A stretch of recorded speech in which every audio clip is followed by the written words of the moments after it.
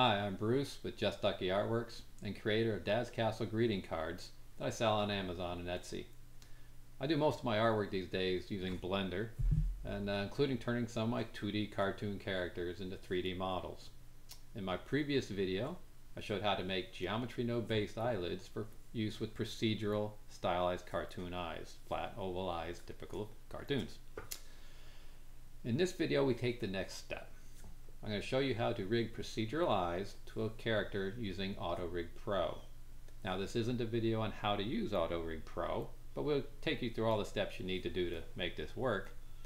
But typically rigging programs and rigs, including AutoRig Pro, like to change the direction of eyes by actually rotating the mesh.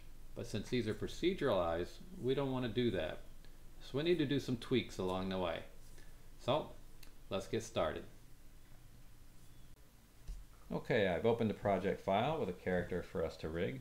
Now you can use your own character or you can uh, download this one. I'll provide information in the, in the uh, description below.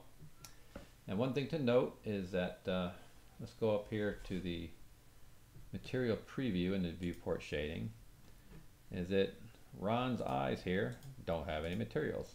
And that's because they're just temporary.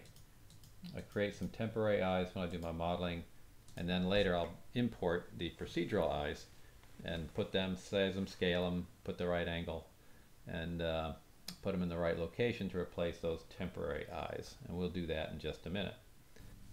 Right now I'd like to give you a little bit of a roadmap of what we're going to cover in these tutorials. In part one, uh, we'll start by importing the eyes and then setting up the materials so we can prepare them for rigging. In part two, we'll create the uh, Auto Rig Pro rig and then we'll bind the characters and the eyes to that rig. In part three, we'll then create the procedural eye drivers for the eyeballs. So we'll replace the mesh drivers with the procedural material drivers. Then in part four, we'll create the drivers for the eyelids and then finish up with the parenting and finalize the, the whole project. Does that sound good? All right, let's get started. All right, first thing we'll do is import the eyes. Now, I'm importing a file that uh, you can obtain on my Blender Market. However, uh, if you've watched my last video, you can create your own eyes from that. You might have already done so. And if you haven't, you're, you know, go ahead and do that. So you have some of your own eyes to work with if you like. Either way, uh, works just fine. So let's go ahead and click File, Append. And this is my uh, current file on the Blender Market 2.1, but keep an eye on that in case it changes. So we'll go to Object, and then we'll we'll, we'll select the uh, stylized eyeball today. All right, now as you can see, it's uh, rather large, and it's a, a wafer-looking eyeball, just for like cartoons. But the one you made might not be uh, might not be a, a, a wafer like that. So I'm going to come over here to the scale. Now you can get this menu by pressing N I'm going to drag, click and drag down and just make that all one. So that way we have a round eyeball, which might be the same as your procedural. It doesn't really matter because we'll match that in the end to these temporary eyes up here. All right, so I want to name this eyeball.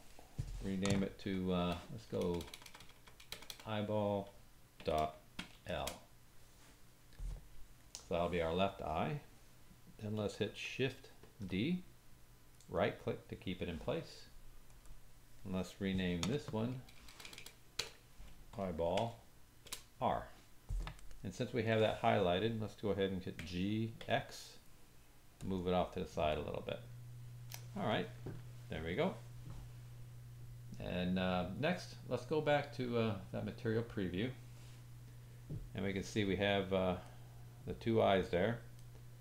Now to work these eyes and control them, if we click on material down here, material properties, and then you'll see base color. Click on that little triangle down, and now you'll see some controls for eye rotation.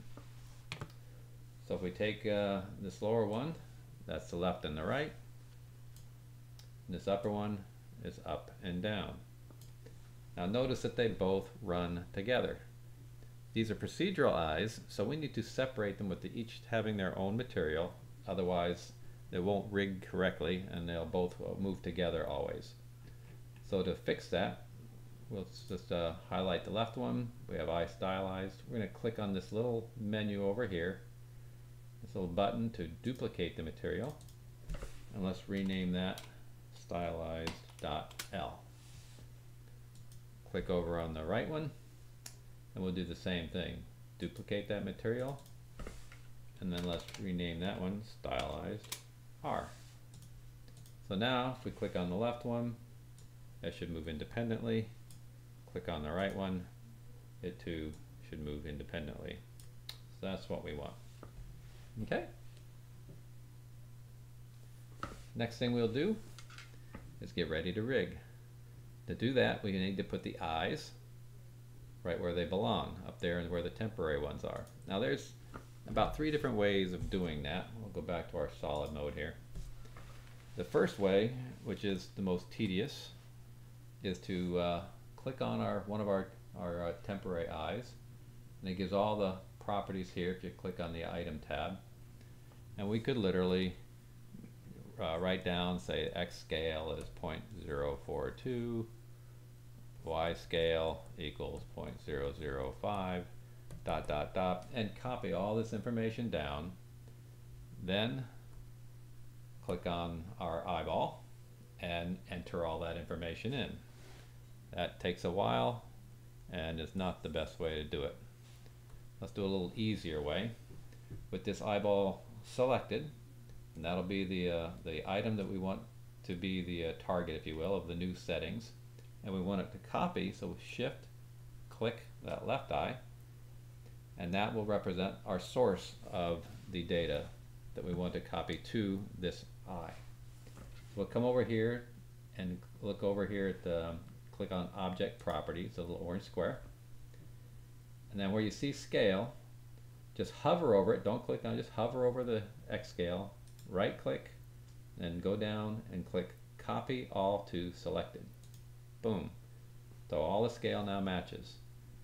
Now we have rotation. We only have one, uh, one rotation. That's on the Z. So we can right click and copy single to selected. And then for location, right click and copy all to selected. So now our procedural eye is right where it needs to be, the right scale, the right rotation, and the right location. So at this point, we can come over here, click on the temp eye, and delete that. Method number two, we're going to click on the right eye. Let's go over to the edit, down to preferences. And then if we type in copy, search for copy, you'll see a menu here called Copy Attributes menu. Let's just check that box. Close that uh, menu. Now, let's type, well, let's first select our object, select the source, which is going to be, if I can get in there, that right eye. So select the object, shift select the right eye. Now if we type Control C, we can copy scale, control C again, copy rotation, control C again, copy location. Now it's right where it wants to be. So we'll click on the uh, temp eye and delete that. And let's go ahead and just, for the sake of housekeeping, we'll grab those two and move them up into Ron's collection there. So it keeps them all together. Okay. Now if we go to materials preview, we can see that, uh, well, skin color doesn't quite match, so it looks like he's had a, a real rough day or a rough night, but that's okay. That, uh, that'll help us see the eyelids a little better when we do our, our rigging. Now, one more step we want to do before we start the rig uh, is to preserve our vertex groups. Now, AutoRig Pro uh, usually does a good job of preserving vertex groups that we already have. Now I'm using some geometry node eyelids on this and so it might not preserve those. So just to be uh, safe and since this is a tutorial I don't want to spend too much time uh, making corrections. We're going to highlight that eye, highlight the vertex groups and if you see them over here I'm just going to just lock those so they don't go anywhere. All right, then we'll click over here on the right eye and do the same thing. Lock those. While I'm at it, I might as well go ahead and just uh, lock the other items on, on my uh, character. Okay, now he should be ready to start rigging.